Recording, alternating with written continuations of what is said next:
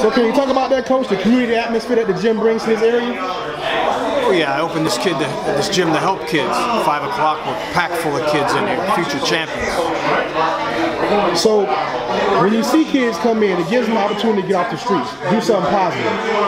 Do you feel like you're paying it forward when you do that? Oh, most definitely. We're always preaching to them, trying to help them, trying to listen to their problems. You know, this gives them a place to vent their energy. Absolutely. You know, they go home a lot more calmer.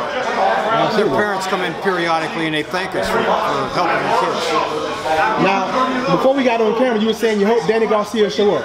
He's gonna show up, right? Oh, he's going to show up. Oh yeah. Oh yeah. He's going to show up. It's going to be a great fight. Keith Thurman will be Oh with his hand raised. When you look at look, coach, you look good. I see you doing some TRX workouts over there. You trying to get in shape for something? Oh, I've been exercising my whole life. I run five days a week. I work out constantly. How far you run, coach? Two miles.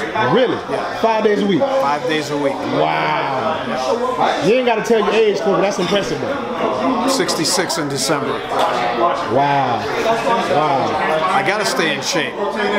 Try catching Keith Thurman's hook. It'll take your shoulder out the next week if you're not careful. Hey, so when we go to New York, what's a good spot to eat at? Best restaurant. Oh, any pizza shop. Pizza. You a Any pizza pizza guy? shop. I love pizza. I'm half Sicilian. I love love Italian food. Okay. All right. Well, I know last time we talked, you said you love going to New York. It's the it's the best fight town in the world. No doubt. Um, I mean, is there any chance that we'll get another fight here with the champ? Will he be fighting back home in his backyard anytime soon? I don't know. I mean, that's all up to Al Haymon and him. They work they out. You know, they work that out. I just go where I'm supposed to go. Yeah. Okay. Well, you you know you're a man of uh, very few words and you're very straightforward, so that's always appreciated. It's honesty. Cool. All right, coach. We appreciate you, man. Thank you for the time. Thank you. My pleasure.